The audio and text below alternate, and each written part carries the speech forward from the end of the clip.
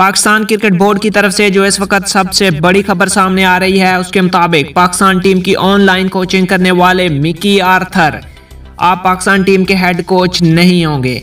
इस हवाले से जो बड़ा फैसला सामने आया है, उसके मुताबिक पीसीबी में हेड कोच का अहदा खत्म कर दिया गया है, जबकि मिकी आर्थर पाकिस्तान टीम के हेड कोच की बजाय टीम डायरेक्टर के तौर पर काम करेंगे। पीसीबी ने मिकी आर्थर के लिए चीफ ऑफ़ स्टाफ का अहदा भी तैनात करने का फैसला कर लिया है।